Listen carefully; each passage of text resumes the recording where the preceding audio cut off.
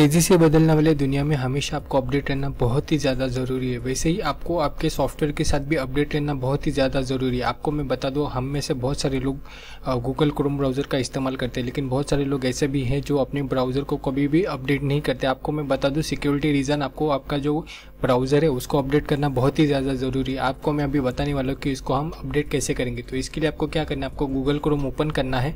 Google Chrome open करने के बाद ये थ्री डॉट के ऊपर आपको क्लिक करना है। क्लिक करने के बाद आपको आना है सेटिंग में। जैसे आप सेटिंग में आओगे तो आपको दिखेगा इसमें बहुत सारे टैब दिखेंगे। तो आपको क्या करना है? सबसे लास्ट वाला जो टैब है अबाउट गूगल क्रोम उसके ऊपर आपको क्लिक कर देना है। जैसे आप इसके ऊपर क्लिक करोगे तो आपका जो भी वर्जन रहेगा आपको यहाँ पे दिख जाएगा। तो देखो, यहाँ पे मेरा मैसेज आ रहा है कि ये अपडेट है।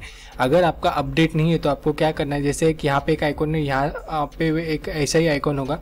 तो आपको उसके ऊपर जस्ट क्लिक कर देना है तो आपका गूगल क्रोम का जो ब्राउज़र है, वो ऑटोमेटिक अपडेट होना चालू होगा और एक से दो मिनट में आपका जो पूरा ब्राउज़र है अपडेट हो जाएगा। तो इस तरह से आप आपके गूगल क्रोम ब्राउज़र को बहुत ही आसानी से अपडेट कर सकते हैं। तो उम्मीद करता हूँ, मेरा ये वीडियो आपको बहुत ही पसंद आया होगा। अगर मेरा वीडियो आपको पसंद आता है तो मेरे वीडियो को लाइक कीजिए शेयर कीजिए सब्सक्राइब कीजिए। मिलते हैं कैसे नए वीडियो में। तब तक के लिए जय हिंद जय भारत।